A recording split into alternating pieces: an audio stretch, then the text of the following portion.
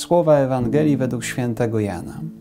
Wieczorem w dniu zmartwychwstania, tam gdzie przybywali uczniowie, choć drzwi były zamknięte z obawy przed Żydami, przyszedł Jezus, stanął pośrodku i rzekł do nich: Pokój wam. A to powiedziawszy, pokazał im ręce i bok. Uradowali się zatem uczniowie, ujrzawszy Pana. A Jezus znowu rzekł do nich: Pokój wam. Jak ojciec mnie posłał, tak i ja was posyłam. Po tych słowach tchnął na nich i powiedział im: Weźmijcie ducha świętego, którym odpuścicie grzechy, są im odpuszczone, a którym zatrzymacie, są im zatrzymane. Ale Tomasz, jeden z dwunastu, zwany Didymos, nie był razem z nimi, kiedy przyszedł Jezus. Inni więc uczniowie mówili do niego: Widzieliśmy Pana. Ale on rzekł do nich: Jeżeli na rękach jego nie zobaczę śladu gwoździ i nie włożę palca mego w miejsce gwoździ i ręki mojej nie włożę w bok jego, nie uwierzę. A po ośmiu dniach, kiedy uczniowie jego byli znowu wewnątrz domu i Tomasz z nimi, Jezus przyszedł, choć drzwi były zamknięte, stanął po środku i rzekł: Pokój wam. Następnie rzekł do Tomasza: Podnieś tutaj swój palec i zobacz moje ręce, podnieś rękę i włóż w mój bok i nie bądź niedowiarkiem, lecz wierzącym. Tomasz w odpowiedzi rzekł do niego: Pan mój i Bóg mój. Powiedział mu Jezus: Uwierzyłeś dlatego, że mnie ujrzałeś? Błogosławieni, którzy nie widzieli, a uwierzyli. I wiele innych znaków, których nie zapisano w tej księdze, uczynił Jezus wobec uczniów. Te zaś zapisano, abyście wierzyli, że Jezus jest Mesjaszem, Synem Bożym i abyście wierząc mieli życie w imię Jego.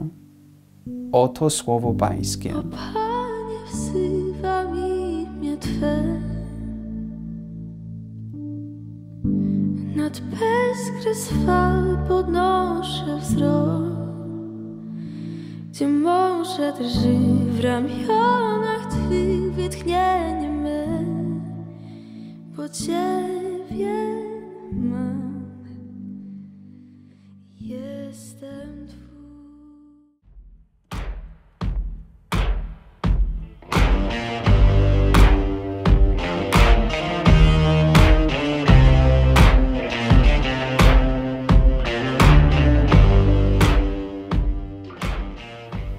Żeby zrozumieć przesłanie dzisiejszej Ewangelii, to najpierw trzeba jakby zrozumieć atmosferę tego miejsca, w którym znajdują się y, apostołowie, uczniowie Pana Jezusa. Z jednej strony czują się zawiedzeni z tego powodu, że y, Pan Jezus nie żyje, że te wszystkie sprawy w ten sposób się potoczyły, a z drugiej strony czują, że oni sami zawiedli Pana Jezusa przez to, jak postąpili, że go zdradzili, że go zostawili. I atmosfera, która mm, tam jest, jest nieprzyjemna. Ona jest pełna właśnie strachu. Ewangelia nam mówi o zamkniętych drzwiach, które możemy rozumieć nie tylko w sposób taki zamknięte drzwi do, do wejścia do tego pomieszczenia, ale również przez pryzmat zamkniętych drzwi do serca, strachu. Strachu, który z jednej strony jest związane z tym, że skoro Pana Jezusa to spotkało, to oni mogą po, ponieść jakby podobne konsekwencje. To jest pierwszy rodzaj strachu, którego doświadczają, ale nie tylko. Ten strach jest y, związany również z tym, że te wszystkie obietnice, które Pan Jezus im składał, że one w momencie śmierci Pana Jezusa stają się nieaktualne. Oni uważali Go za Boga, no i teraz to wszystko, co mówił o życiu wiecznym, o, o nagrodzie, te wszystkie obietnice stają się nierealne do e, zrealizowania. Czyli to jest taki strach, który dotyczy nieobecności Boga, jakiejś takiej niewiary. I trzeci rodzaj strachu to jest ten moment, kiedy dowiadują się, że może jednak on żyje, mają świadomość tego, że go zostawili, że go zdradzili. Pan Jezus dokonywał tak potężnych, e, dla nich niewyobrażalnych rzeczy, jak na przykład uciszenie burzy, e,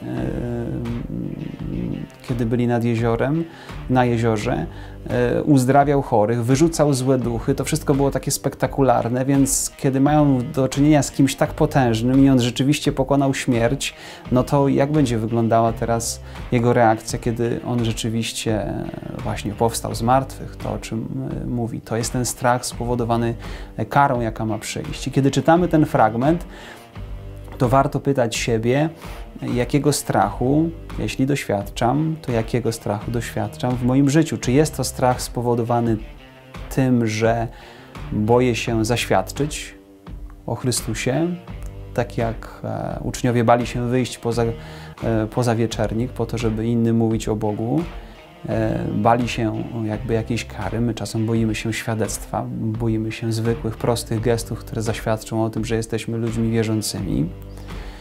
Być może jest to strach, który jest spowodowany właśnie jakąś nieobecnością Boga, może doświadczamy jakiejś, jakiejś niewiary. I chcemy jakiejś interwencji Bożej, a, a tej interwencji nie ma, doświadczamy jakiegoś lęku właśnie z tym związanego, jakiejś właśnie nieobecności Pana Boga, albo jest to trzeci rodzaj y, strachu, który może wystąpić w naszym życiu, właśnie takiej relacji Boga, gdzie popełniliśmy, zrobiliśmy coś złego i spodziewamy się od Boga kary. Spodziewamy się tego, że Pan Bóg wymierzy nam sprawiedliwość.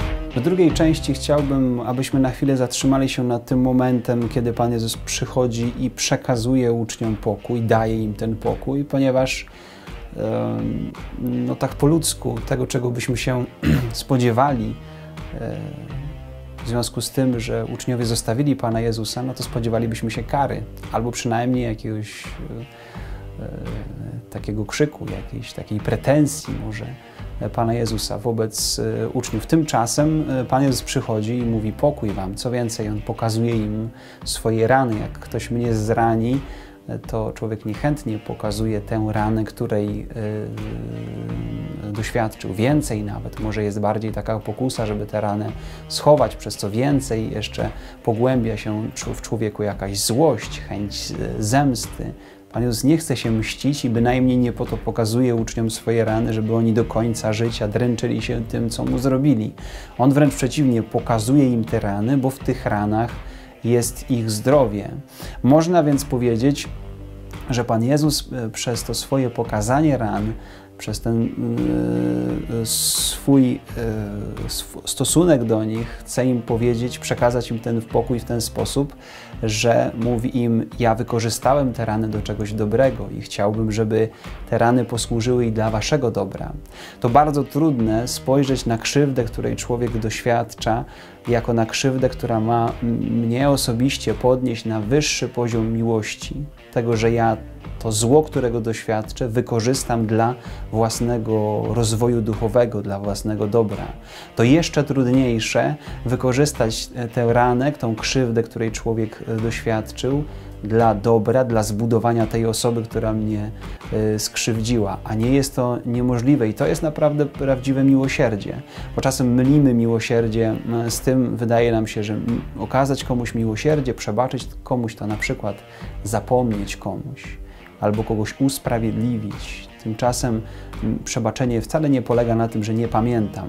Zawsze człowiek skrzywdzony będzie pamiętał krzywdę, ale ma podejść do tej krzywdy w sposób nie destruktywny, ale konstruktywny. To znaczy ma podejść do tego w ten sposób, aby ta krzywda wzniosła go na wyższy poziom e, miłości, tego, że okazuje miłosierdzie, więcej nawet. Korzystam z tego faktu do tego, aby ubogacić nie tylko siebie, e, ale też tę osobę, która mnie skrzywdziła. Warto się nad tym zastanowić, e, zatrzymać bo wiele jest e, często w naszym sercu niepokoju, właśnie związanego z brakiem przebaczenia. Czasem nawet sami doświadczamy tego, że mimo tego, że się spowiadamy, to człowiek nie doświadcza jakiegoś głębokiego pokoju w swoim sercu, bo gdzieś e, ma ukryty jakiś żal, czy to do Pana Boga, do drugiego człowieka, czy do samych siebie. Też czasem nie potrafimy sobie samym przebaczyć e, różnych e, spraw. Chcielibyśmy się nad tym dzisiaj zatrzymać.